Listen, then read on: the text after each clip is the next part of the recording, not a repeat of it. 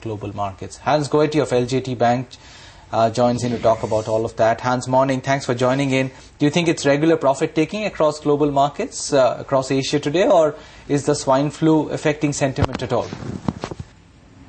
Uh, it could be the swine flu, actually. I mean, all of us lived through SARS in 2003, especially here in Singapore. We have uh, not very fond memories of it, and we see how actually how serious this can be and how fast these uh, these diseases can travel around the world. So I think there's a bit of anxiety regarding uh, the swine flu here. Hans, morning. What about the market? Those six weeks of a pretty sharp run and fantastic flows to go with it. Are you sensing that there's a lot of money waiting to come into markets, especially this whole Asian basket? Well, over the last six weeks, we have seen a very strong rally which started in the US, and Asian markets are still taking the lead from the United States. Uh, you have to remember that in March we were at extremely oversold levels, sentiment was at rock bottom, and what we're seeing here is what we would label as a bear market rally, which admittedly has some further to go. We would not be surprised to see the Dow, for instance, in the United States be at maybe 9,500 by the middle of the year or something like that. And of course, this will have uh, a positive spillover into Asian markets as well.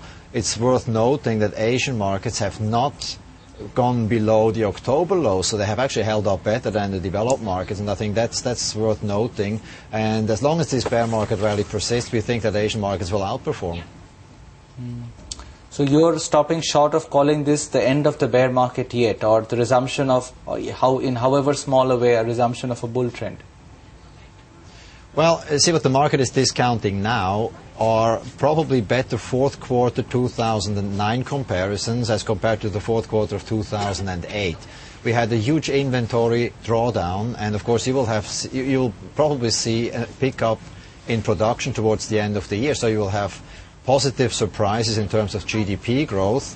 However, the reason why we're not thinking that this is a new bull market basically has to do with the fundamentals surrounding the banks it is pretty clear that the banks will have to raise more capital, probably to the hundreds of uh, billions of dollars. And the other thing, of course, is the fear of increasing deficits.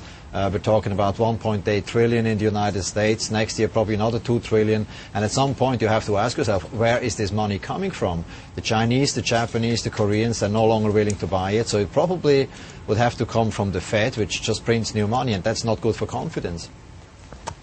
What do you think will be the final outcome in terms of information on this stress test analysis, Hans? I mean, the rumors put out some very grim pictures, but what uh, the government had to say on Friday was very sketchy. Well, you know, I'm wondering why they're doing this exercise at all, because there's actually nothing to gain from it.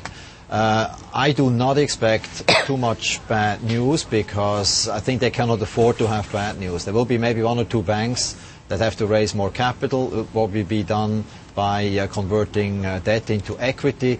But the situation looks dire, and uh, when Treasury Secretary Geithner said that the majority of banks have plenty of capital, I think a lot of people interpreted this that as, if he was talking about the 19 banks subject to the stress test.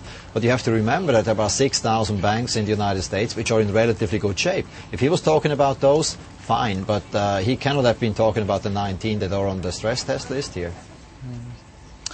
What about India? I mean, we've got a very important event coming up in the next few weeks in the election of the results. How important would that be in determining India market performance in your eyes?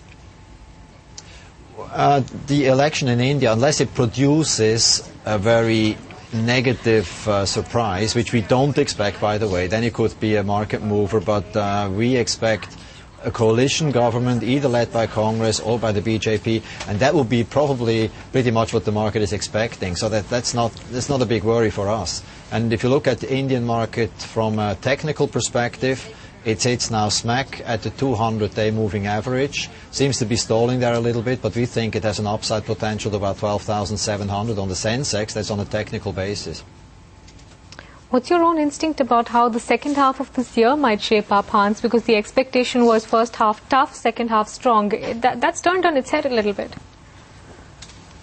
Well, when you're talking about economics, uh, the worst probably of the recession, I'm not saying it's over, but let's say the free fall phase of the market, of the economy is over. Uh, we're still seeing a deterioration throughout the year, but at a slower pace. So the recovery will probably take uh, hold in 2010, but it will be a very shallow recovery. We're not, we're not expecting a V shape, it's more like an L shape. And that will take time because now you have the bailouts, uh, the deficits, and everything that will be a drag on, on economies worldwide. And we're afraid that we're going to live with that for a number of years. Good speaking with you, Hans. Thanks for stopping by this morning. That's some uh, global opinion on markets. Let's take a break on that note. Still